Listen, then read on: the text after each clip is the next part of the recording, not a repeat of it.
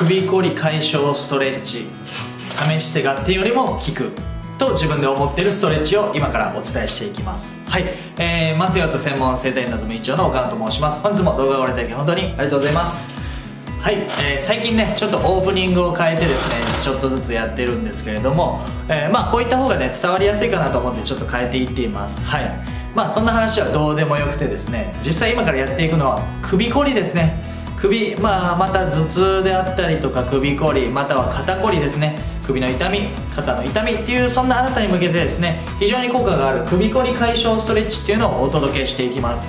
でこれはですね時間はたった30秒でできます。30秒。そして30秒でやって解消される、まあ、体が軽くなるストレッチっていうのをお届けしていきます。でまずですね首こり、まあ、肩こりが何で多いのかっていうとやっぱり筋肉が結局硬くなってるからなんですね。そこを伸ばしてあげるストレッチっていうのを必ずしていかないといけません。でこのやり方をですねわからない方がほとんどだと思いますね。今からですね実際やっていきます。やっていく前にただ一つだけ確認しておきたいことがあるんですけどもあなあなたがですね今実際首がどれぐらい上に向くかだとかどれぐらい下に向くかそして横にどれぐらい倒れるか、まあ、突っ張りがあったり痛みがあったら異常なのでそれをですねあるかどうかっていうのも確認してみてください。で実際肩がですねどれぐらい上がってくるのかこういう感じですね。僕だったらこっちの方がちょっと上がりにくい感じはしますね。こっちは耳の後ろまで届くんですけどこっちはここで止まっちゃいます。で首の、まあ、動きも見てからやっておくと非常にですね効果があるかないかっていうのは分かってきますのでぜひ最初に確認をしてやっていきます。それでは早速やっていくんです。が今日お伝えしていくのは僧帽筋っていう筋肉を伸ばしていきます。僧帽筋っていうのはもう首からもう背中までついてくるこういうひし形のね大きい筋肉になってきます。そこをやっていきます。で実際どうやってやるかっていうやり方になってくるんですけれどもこれはもう簡単でですね見えますかね？見えなかったらちょっとどうしましょう？でこれでですね手をまあ、伸ばしたい方伸ばしたい方の手を反対側の手で掴みます。掴みます。で掴んで伸ばしたい方が右だとします。右だとしますね。暗いですね。めちゃめちゃ暗い。どうしよう。ちょっと待ってくださいね。で右だとします。これ景色めちゃめちゃいいでしょ。まあそんな話はどうでもよくて。でここをですね持ちます。持ってこっちをね伸ばしていきます。ここを持ちます。そしてここをですね下に引っ張ります。要は伸ばしたい方の手を反対側の手で下にぐっと引っ張ります。そして引っ張ったら次は首をですねぐーっと横に向けていきます。ぐーっと。でこれでですね10秒間キープです。ぐーっと下に向いて横に向いて。ぐーっと。じゃあどこが伸びるかっていうとここがですねここの筋肉が非常に伸びてきます。首から肩にかけて。こっちを伸ばすのでこれを引っ張ります。そして首をこっちへ斜め下にですね倒していきます。ぐーっと倒していきます。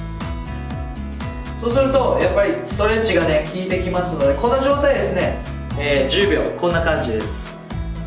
10秒伸ばしていきます。ぐーっと。でそしたらちょっと休憩してもらってで次もですねもう一回同じように、まあ、正面でやっていきましょうか。こういう形です。ぐーっと。じゃあ首からね肩にかけてすっごい伸びてきますので。でこれがですねやり方がわからないっていう方は首をまあ横に倒してもう肩をですね下にグッと押してあげてください。首は斜め下ですね。ぐっと。じゃあここがね伸びるような感じがありますのでぐーっと。っていう感じでやっていただくとこれ分かりますかね？僕の肩ね今右の方がだいぶ下がってますよね。っていうことはそれだけこっちの筋肉がちょっとこういう感じで筋肉で引き上げてたっていう形になってきます。で実際今肩がですねどれぐらい上がるのかっていうのをね見ていくんですけれどもこっちはねあの、まあ、元から上がってた方ね。でこっちおだいぶ上がりますね。さっきねこれぐらいだったんですよ。耳のちょっと前ぐらい。で今だいぶ上がるようになってますよね。っていうことは今肩のこれやっぱり高さがね違いますね。高さがこっちが下がっているってことは元の位置に戻ってくれたってことですね。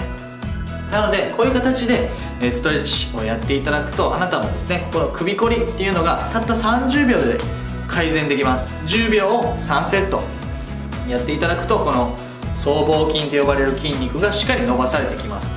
で最後におさらいしておきますと最初はここをね伸ばしたい方の手を後ろに持って下に引きます。グッと。で首を反対側に倒す。これを10秒3セットやっていただくとあなたのですね、えー、首こり肩こりそして頭痛っていうのが非常に解消されてきやすくなってきますのでぜひですねこれでえ、変化、まあ、首の軽さとかも、まあ、今ねこっちだけめちゃくちゃ軽いんですけどこれを感じていただければ、えー、あなたもですねしっかりやっていただくとこの首こり肩こり頭痛から解放される毎日を過ごすことができるかと思います。のでぜひですねやってみてください。はい。っていう形でですね、えー、私の動画が今いいなと思ったら、え下のチャンネル登録からチャンネル登録していただいて、えまたですね高評価いただけると非常に嬉しいです。でまたですねコメントの方もどしどしお待ちしてますのでぜひよろしくお願いします。いう形でですね。え本日も動画をご覧いただき本当にありがとうございます。それでは失礼します。バイバイ。